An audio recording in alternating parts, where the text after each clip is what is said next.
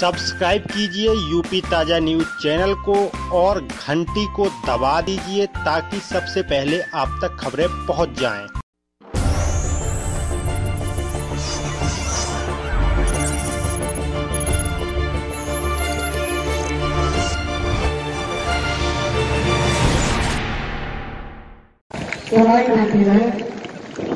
उनके चरणों में पुनः पुनः प्रणाम करते हुए और मंच पर स्वागत अभिनंदन।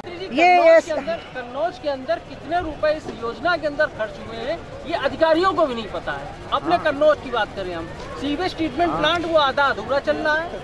गाँव में आप जो बोल रही कि ये गंगा जो ग्राम गंगा ग्राम है वो स्वच्छ होगा आज भी उनकी नालियों से पानी जा रहा है आप जाकर के देख सकती हैं। लाखों मछलियाँ हैं गंगा पर जो काम हुआ है उसके ज़िले के ब्रेकअप नहीं बताना बताना मुश्किल हो जाएगा क्योंकि हमने जो प्रोजेक्ट लिए हैं। उसके टुकड़े जिलों के नहीं हैं।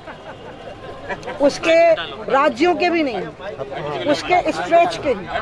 बात कर रहे हैं लेकिन दूसरी किस्त मिल नहीं रही थी गाजी परेशान है क्या करें हम लोग की बात अभी प्रो- सबको बना के लाया गया यहाँ पर।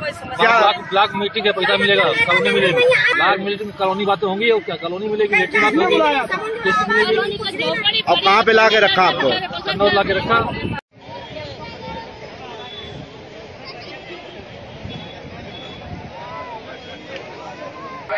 हम सब भाइयों के हाथ में है हम सब जो जिस दिन दिन तय कर लेंगे निश्चित रूप से गंगा स्वच्छ होने लगेगी।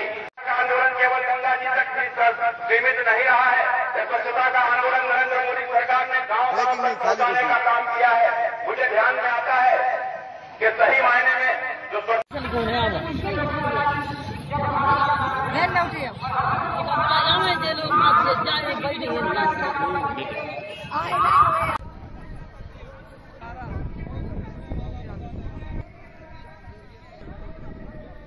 बहुत खुशी होगी ये देना इंटरनेट देना इंडिया आगे बढ़ी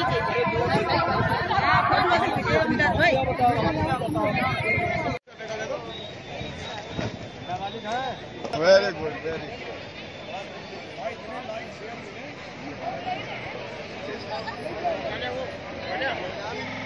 अच्छा तो कार्यक्रम खत्म भी नहीं आप लोग जा रहे हैं इस तरह?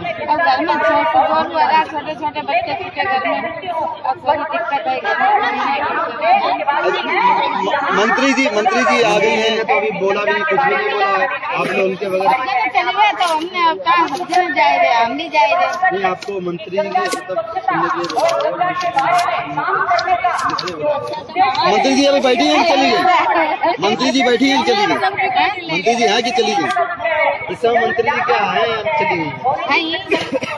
कौन है? कौन कौन बैठा?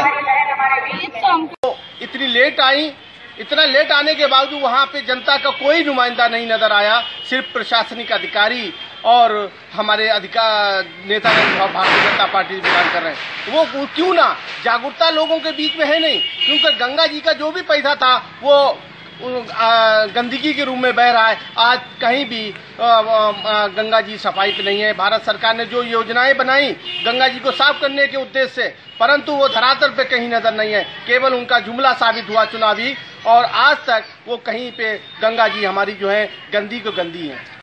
ये लोकतंत्र है, मैंने बताया कि यहाँ पर किसी को बंधुआ मंजूर तरीके से लालच देके और बातों में नहीं लाया जा सकता है। वहाँ जो लोग आए थे कॉलोनी के नाम पर और प्रधानों पे दबाव डाल के लाया गया, वहाँ कुछ देर बैठे और उन्हें लगा कुछ नहीं मिलना है।